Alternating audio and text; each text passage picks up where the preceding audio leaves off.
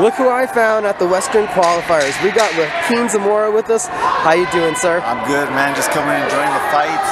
I was in town, so I thought I'd check out the, the future of boxing in the United States, or at least the western part. We got you coming up here very shortly. Expo Explosion. Becoming a regular thing to see you back in the ring now. Um,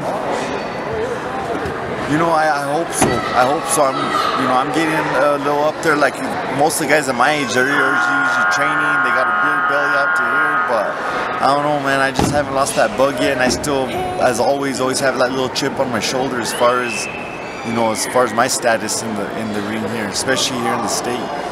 Tell us about what it felt like walking back out to the ring near your native Santa Fe up there at Camel Rock last time out oh, for Legacy man. Boxing. Yeah, I loved it, man. It was like it's like being born again, man. When it's, I mean, I remember hearing that in a Rocky movie. It's like being born again when you're out there and you hear the crowd, hear the music, and then you see the guy that you're about to fight.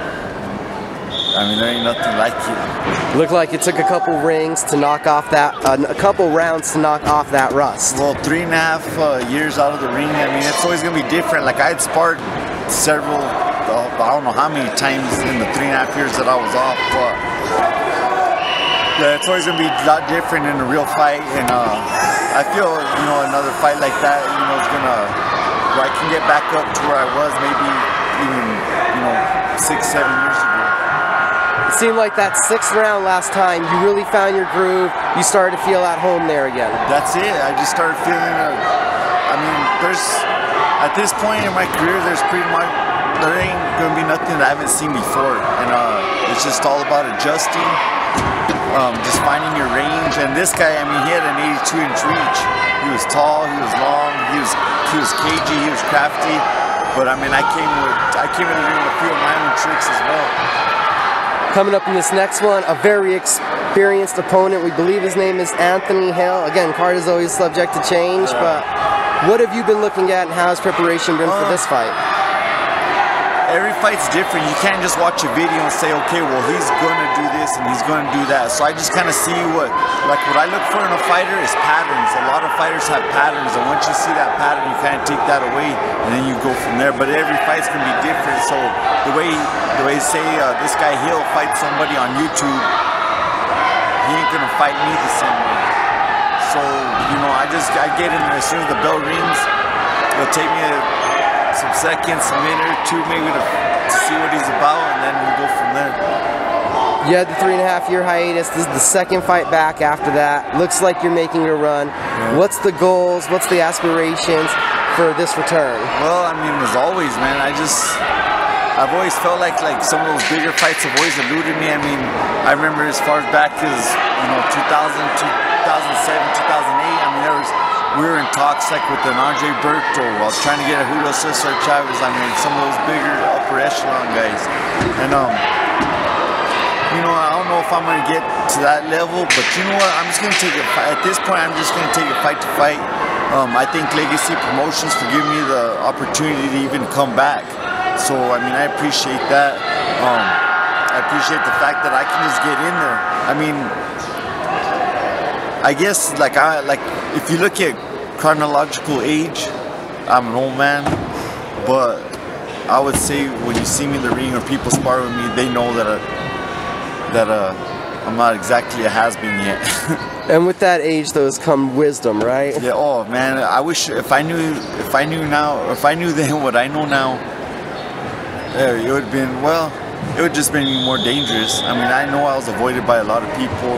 Um, you know, but it is what it is, man. I mean, everything turns out the way it's supposed to be, and you know, I've never been the guy that tried to get all the shine and this and that, but I know that I, I know that I am respected when I get in the ring. What makes the difference April 1st? Why do you win? Uh, there's so many reasons. I mean, he's he's cagey, but I'm cagey as well. And but the, at the, like at this point, everyone's like, "Well, how old is he?" And it's like, "Come on, man! Everyone's gonna be younger than me at this point." so, but like I said, it's the experience, the knowledge. I mean, just aside from the from the actual fights, I've been in the ring with so many different people.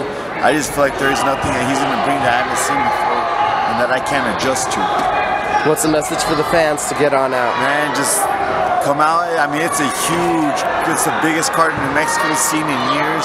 Um, I'm just glad to be a part of it. To thank Legacy Promotion, like I said, all my trainers, Victor Saavedra, Al Lovato, everyone that's helped me out. Um, I thank my girlfriend, Edwina Vargas, because she's been handling, and holding it down with the tickets. Um, got my little boy here with me, Enrique. He's always got my back.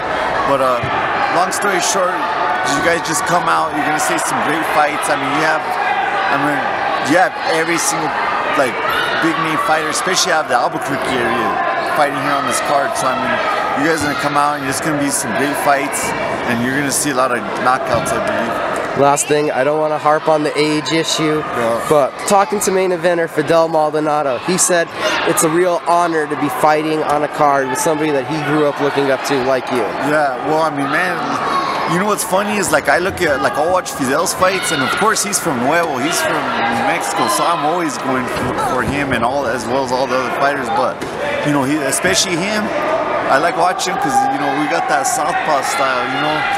But I mean, it's an honor for me to be fighting with them. I mean, like I said, like I watch these guys as they're young and in the amateurs, like I said, and they just came up, came up, came up, and it's like an honor just to see how they've all blossomed as fighters. And you know, like Fidel, he's on the cusp of world titles soon. I, I truly believe that. And um, you know, so just to be on the card is an honor. Like with Josh, I mean, former stable, the former stable mates, uh, you know, Josh Torres, Hector, you know, and I've sparred a few times with uh, Sanchez.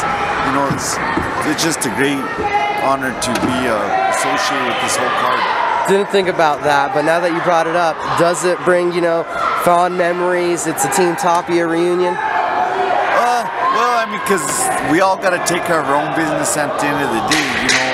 Of course, I'm always going to cheer for all the guys, especially all the New Mexico guys. I'm always going to be cheering for them. That's just, it is what it is, you know. But, um, you know, but they've gone on, they've gone, you know, done their own thing and everything. But I'm always going to wish them the best and wish them well, just as well as, you know, guys that I haven't trained with, but I've sparred with, like Fidel or, you know, Or Josh. yeah, Josh exactly. Sanchez. Exactly. So you know, I just wish everybody the best. You always hope that you always hope that everybody comes out safe, whether they be from here the opponent. Um, just you know, a lot of those guys that are coming in to fight fight us here in New Mexico. I hope their insurance paid up. But you know, that's just my opinion. Thank you for the time, sir. right, no problem.